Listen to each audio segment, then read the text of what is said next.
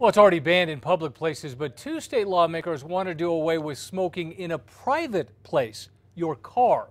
They say if you're around kids, you shouldn't be allowed to light up at all, and they're proposing a hefty fine.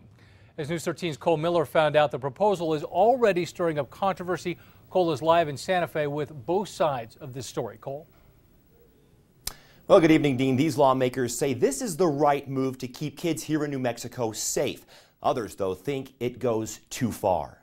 You know, the issue of secondhand smoke is really the focus. And Lighting up in the car with minors on board could soon get you into trouble. As a legislator, we have this unique opportunity to be able to change the law on things that need to be changed. That is, if Representative Jeff Steinborn and Senator Peter Wirth, two Democrats, have their way. Putting children in cars with cigarette smoke, cigar smoke, whatever it is, it's something I think needs to stop. Their bill would make smoking in a car with anyone under the age of 18 punishable by up to a $300 fine, 500 bucks for a second bust. It's important that if someone does this, that they receive a painful enough fine that they never want to do it again. Steinborn says it's modeled after a similar Oregon law. The bill also includes e-cigarettes. Not everyone at the Roundhouse thinks it's a good idea.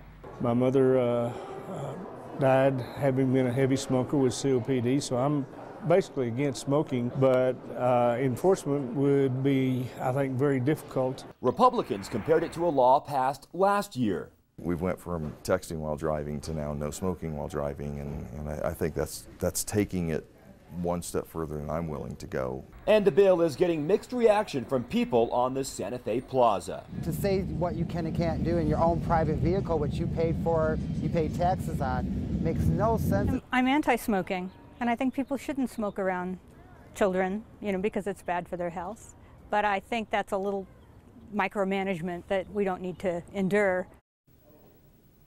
And we did reach out to state police to see if enforcing a law like this would be tough, but we did not hear back. Now, here's something for comparison. Here in New Mexico, if you're caught smoking in a place where it is not permitted, Dean, the fine is just $100. Back to you. All right, Cole, thank you. Lawmakers say this is the first time that a bill like this has been introduced in New Mexico.